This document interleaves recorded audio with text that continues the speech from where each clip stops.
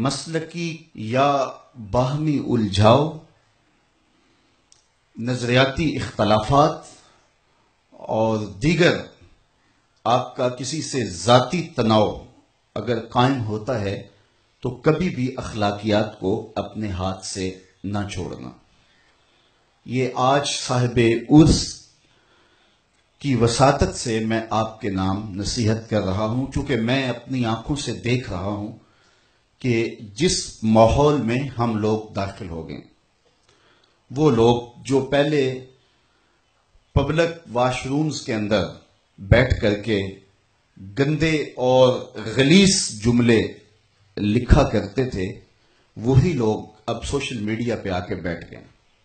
اور ایک دوسروں کی پگڑیاں اچھالنا اور عجیب و غریب جو رنگ دکھائی دیتا ہے، یہ بات میں اللہ روس استشہاد کہہ رہا ہوں کہ یہ میرے رسول کا لایا ہوا دین نہیں ہے۔ اس لیے ہمیشہ اپنے آپ کو اس غلازت سے، اس گندگی سے دور رکھیے گا۔ کسی مفکر نے کہا تھا کہ جو گمراہی عقیدت اور دین کے راستے سے آتی ہے، وہ بہت گہرے قدم جما لیتی ہے اور دیر پا ہوتی ہے۔ اس لیے کسی بھی بنیاد پر آپ اخلاقیات سے نیچے نہ گریں اور اپنی زبان کی، اپنے لہجے کی، اپنے قلم کی اور اپنے خیالات کی حفاظت کریں۔ آقا کریم علیہ السلاۃ والسلام کی زندگی، حضور علیہ السلام کی سیرت ہمارے سامنے موجود ہے اور آقا کریم علیہ السلام نے جو ہمیں دین دیا ہے اور جس طرح سے رویوں کے اندر حسن اور جمال پیدا کرنے کی تلقین کی ہے اور آقا کریم علیہ السلاۃ والسلام کا اپنا عمل، حضور کے اصحاب کا عمل اور امت کے مشاہیر کا آج تک جو عمل ہے وہ ہمارے لیے خزر رہا ہے۔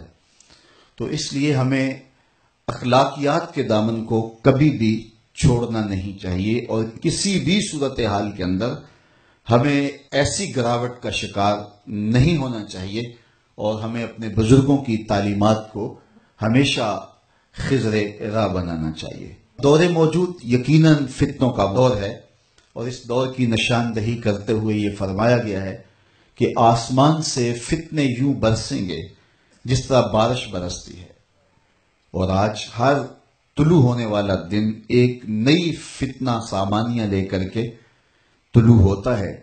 تو اپنے ابا اجداد اپنے مشائق اپنے اسلاف اپنے بزرگوں کی تعلیمات کو مضبوطی کے ساتھ تھام کر کے ہمیں منزل کی طرف آگے بڑھنا ہوگا۔ اور دوسری جانب میں جو آپ کی توجہ اس بات پہ دلائی، کم از کم جو میرے ساتھ روحانی انتصاب رکھتے ہیں یا ہمارے ساتھ تلمس کا جن کا ربط و رشتہ ہے، میں ان کو پھر یہ تاکید کروں گا کہ اس وقت جو باہمی جنگ و جدل اور آپس کی لڑائیاں اور الجھاؤ اور کیچڑ اچھالنا اور گندگی اچھالنا اور پگڑیاں اچھالنے کا کلچر فروغ پا رہا ہے۔